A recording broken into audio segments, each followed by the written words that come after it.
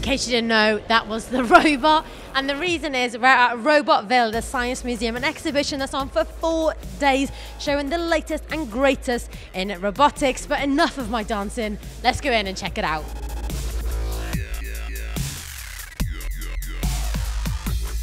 Whether you're looking for a robot to become a friend, pick up your rubbish, play games, or teach you a few moves, we've got them all here.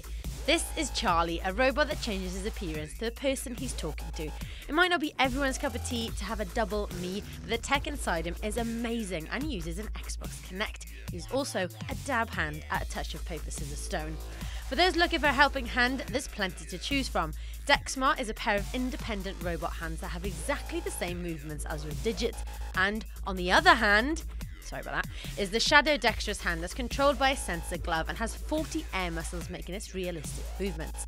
For the kids, there's iCub and Kaspar. This slightly frightening looking chap is designed to help with children's education and senses when someone is happy or sad and mimics body movements. iCub is a robot that also learns from us. By playing with it, iCub learns by itself and how to interact with the world around it.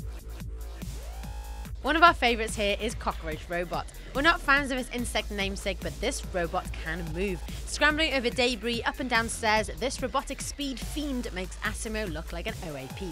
Another body moving tech friend is Couch Jouzas. Designed to get your butt off the couch, think of him as a miniature Mr. Motivator. And finally, we've saved the best until last. This is Nao.